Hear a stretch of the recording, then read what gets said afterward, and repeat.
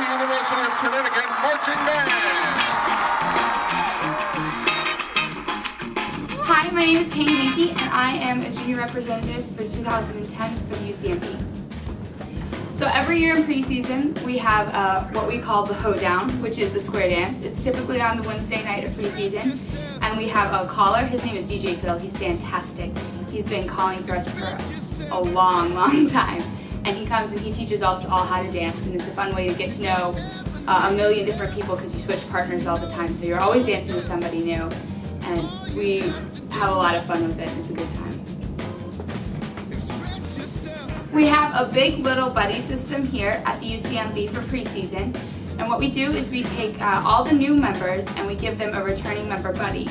And that's so they, if they have any questions about the UCMB or even university life in general, they can ask their big buddy and they always have someone to go to.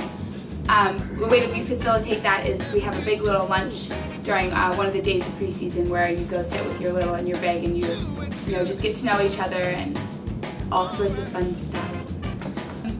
Every year we have freshman convocation on the first Monday night of preseason. We always have a guest speaker, and this year we had a very, very special guest speaker who came and pumped us all up. Um, convocation is a great introduction to the UCMB, and we do it in order to get you ready and excited to, for the week of work that's ahead of you. Our next guest needs no introduction. Just this last season, he led UConn to a meaningful, historic win at Notre Dame in the PapaJohns.com Bowl Championship. Through his leadership, he brought UConn from an FCS division team to an FBS team and is building a top-notch program here at UConn. Please welcome the head coach of the University of Connecticut football team, Coach Randy.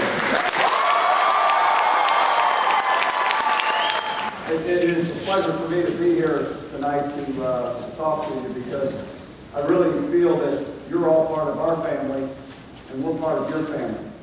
And it's you here, the biggest team that we have on campus, without a doubt. Okay, you are the biggest team on campus. And you have a heck of a team. And you have great leadership.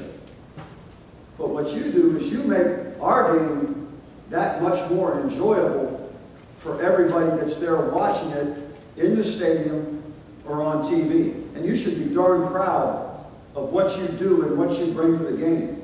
And it doesn't go unrecognized from me, my staff, our players. Like I said, you are part of my, our team. And I'm glad that we have you because you're the best damn band in the United States of America.